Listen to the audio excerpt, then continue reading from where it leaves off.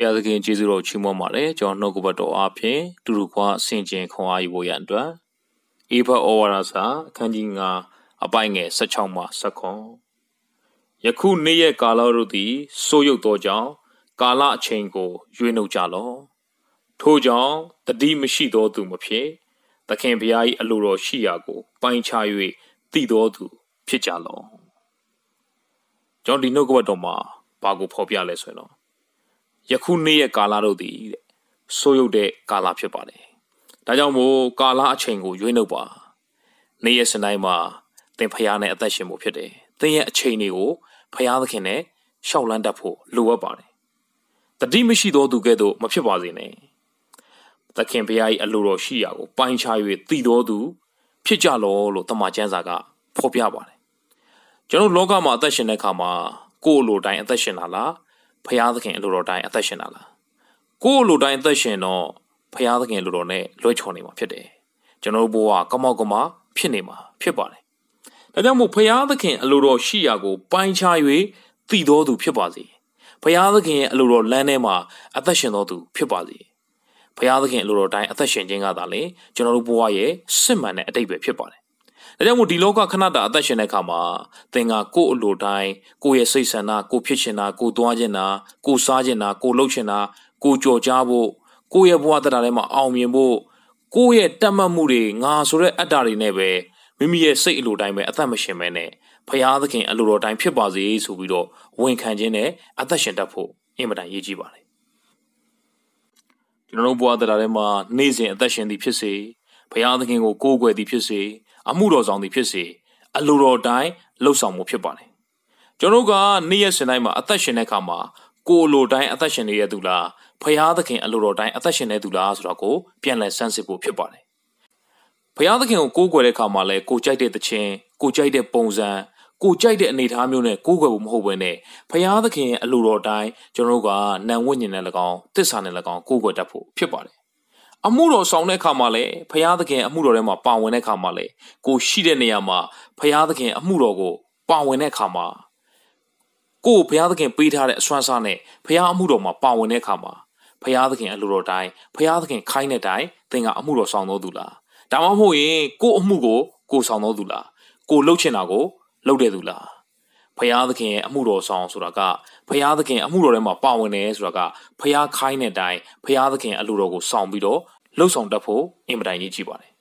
ကျောင်းသမာကျမ်းစာထဲမှာညီကိုနှစ်ယောက်ဘုရားသခင်ကိုတွားပြီးတော့ကိုးကွယ်တယ်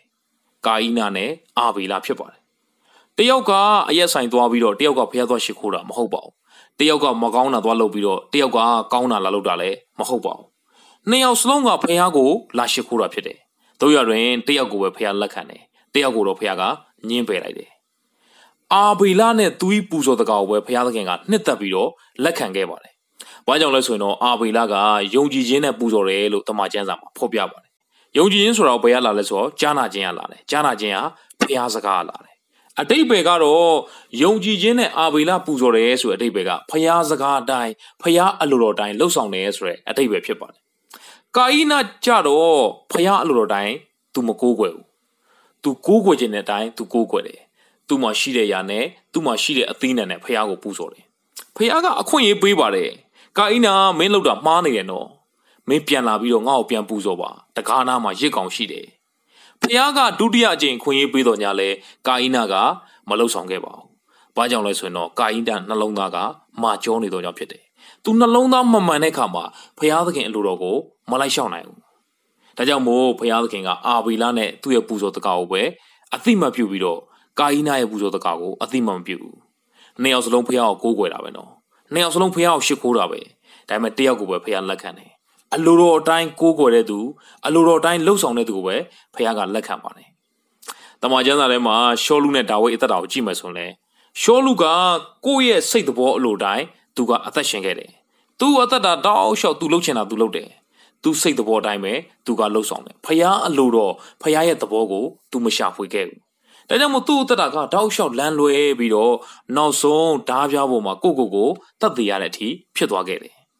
ဒါဝိဒ်ကတော့ဘဝတတာထဲမှာမှားယွင်းမှုတွေတော့ရှိပါတယ်တို့ရတွင်ဖျားအလိုတော်ကိုရှာဖွေတယ်ဖျားအလိုတော်ကပါလေအဲ့ဒီဖျားအလိုတော်နဲ့ဆန့်ကျင်ဘက်ကိုရောက်သွားရင်လေနောင်သားနဲ့ဖျားစီကိုပြန်တိုးဝင်တယ် ဒါကြောင့်မို့တမန်ကျမ်းစာမှာဘလို့မှတ်တမ်းတင်လဲဆိုရင်တော့ဒါဝိဒ်ကတဲ့မိမိရဲ့ကာလမှာဖျားအလိုတော်ကိုဆောင်ရွက်ပြီးတော့ပြီးစည်းစေခဲ့တယ်လို့ဖော်ပြပါတယ်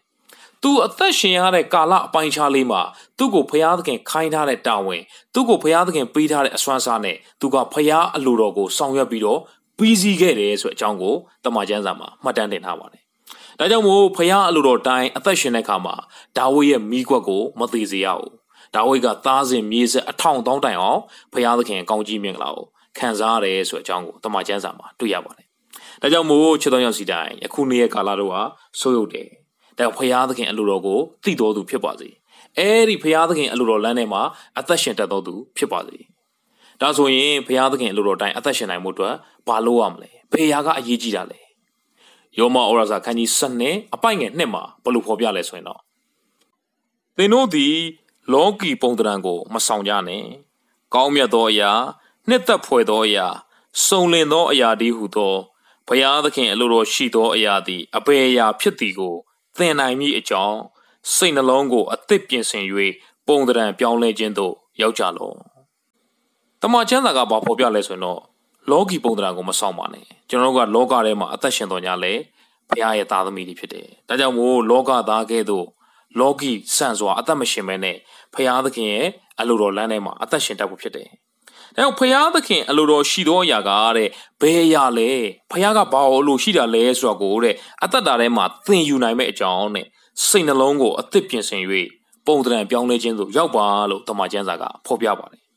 ချစ်တော်ညောရောက်စီတိုင်းကျွန်တော်ဘဝတရားထဲမှာဘုရားသခင်အလိုတော်ကိုသိပြီးတော့ဘုရားသခင်အလိုတော်လမ်းထဲမှာအသက်ရှင်နိုင်ဖို့ဘုရားသခင်အလိုတော်ကိုအသက်တာထဲမှာသင်ယူနိုင်ဖို့ရန်အတွက် အရေးကြီးဆုံးအချက်ကတော့သင်ရဲ့စိတ်နှလုံးကိုအသက်ပြင်ဆင်ဖို့ပဲဖြစ်တယ်။စိတ်နှလုံးကိုပြင်ဆင်တဲ့အခါမှာကျွန်တော်နှလုံးသားကဘုရားသခင်နှစ်သက်တဲ့အခါမှာဘုရားသခင်အလိုတော်လမ်းထဲမှာကျွန်တော်ကရှောက်လန်းနိုင်မှာဖြစ်ပါတယ်။ကာအိနာနဲ့အာဘီလာမှာနှစ်ယောက်လုံးဘုရားရှိခိုးဝေမယ်တယောက်ကိုပဲဖခင်ကလက်ခံတယ်။ဘာဖြစ်လို့လဲဆိုတော့ကာအီနာရဲ့နှလုံးသားကမာကျောနေတယ်။ဖခင်သခင်ဒုတိယအကြိမ်ခွင့်ရပေးတာတော့မှဖခင်သခင်ကိုမှန်ကန်တဲ့နီလန်းနဲ့ပြန်ပြီးတော့မကိုးကွယ်ဘူး။ သူစိတ်ဆန္ဒအလိုတိုင်းပဲသူကလှုပ်ဆောင်ခဲ့တယ်။နောက်ဆုံးသူ့ညီတော်သူကလဲလဲသွားပြီးတော့တပ်ပလိုက်တယ်။ရှောလူနဲ့ဒါဝိဒ်အသက်တော်ကြည့်တဲ့အခါမှာလေရှောလူကနှလုံးသားမာကျောပြီးတော့သူများကိုမနာလိုတဲ့စိတ်တွေမကောင်းတဲ့နှလုံးသားသဘောတွေရှိတဲ့အခါမှာဖခင်အလိုတော်ကိုသူမလိုက်နိုင်ဘူး။ဒါကြောင့်မို့သူ့ဘဝတတာကပျက်စီးခြင်းနဲ့ပဲနေကုန်းချုပ်တယ်ဒါဝိတ်ကတော့မှားယွင်းမှုတွေရှိတော်ညာလဲဖျားသခင်အလိုတော်တိုင်းအသက်ရှင်ဖို့ရန်အတွက်ဖျားစီကိုပြန်လှည့်တယ်ဖျားစီကိုနှောင်းနှားနဲ့ပြန်တိုးဝင်တယ် ဒါကြောင့်မို့ဖျားအလိုတော်တိုင်းအသက်ရှင်နိုင်သွားတယ်ဖျားအလိုတော်တိုင်းအသက်ရှင်နိုင်သွားတဲ့အခါမှာသားစဉ်မြေဆက်အထောင်တောင်းတိုင်အောင်ကောင်းကြီးမင်္ဂလာခံရပါတယ်ချစ်တော်ညောစီတိုင်းကျွန်တော်ဘုရားတရားထဲမှာဖျားသခင်အလိုတော်တိုင်းအသက်ရှင်တတ်ဖို့အိမ်မတိုင်ရေးကြည့်ပါတယ်အဲ့ဒီဖျားသခင်အလိုတော်တိုင်းအသက်ရှင်နိုင်ဖို့ရန်အတွက်လည်းကျွန်တော်ရဲ့နှလုံးသားကိုပြင်ဆင်ဖို့လိုတယ် ကျွန်တော်နှလုံးသားထဲမှာဖရာသခင်မကြိုက်တဲ့အရာတွေမာနာကြီးခြင်းတွေကြော်စောကိတ်ထီကိုတတ်မှတ်ခြင်းတွေသူတို့ဘာကိုအပြစ်မြင်ခြင်းတွေလောကအရာတွေကိုဆွဲလန်းခြင်းတွေကိုဖယ်ရှားပြီးတော့ကျွန်တော်နှလုံးသားကိုအသစ်ပြင်ဆင်ဖို့လိုအပ်ပါလေ။သင်နှလုံးသားကိုသင်ကိုယ်တိုင်မပြုတ်ပြင်နိုင်ပါဘူး။ဖရာသခင်ကကျွန်တော်ကိုနေ့ရက်စဉ်တိုင်းမှာပြုတ်ပြင်ပေးနေတယ်။ ဒါကြောင့်မို့ဖရာသခင်ပြုတ်ပြင်ပေးခြင်းကိုခံယူပြီးတော့စိတ်တော်အသစ်နဲ့ဖရာသခင်အလိုတော်ကိုလိုက်လျှောက်ခြင်းအပြင်ဖရာသခင်ကောင်းကြီးမင်္ဂလာကိုခံစားတော်သူများဖြစ်စေဖို့ဝင်ကားပါလေအားလုံးပေါ်မှာဖျာရှင်ကောင်းကြီးပေးပါစေ။